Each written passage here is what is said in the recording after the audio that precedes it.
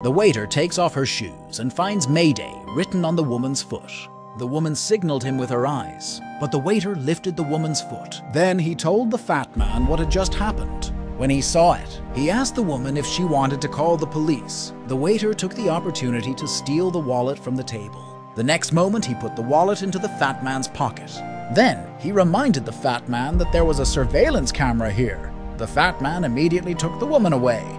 But when he came out, Whoa, whoa, whoa, the whoa, whoa, alarm whoa. went off. The security guard stopped him. He took out a wallet from his pocket. Fatty realized that the waiter had done it all. The security guard took Fatty to the surveillance room. Then the waiter came in. He said the police would take him away soon. But the fat man suddenly burst out laughing. The waiter was puzzled. The fat man opened his shirt and showed it to him. The waiter realized he was a cop, so the waiter could only take the woman away secretly. But the fat man caught him. I'll punish you sincerely apologize.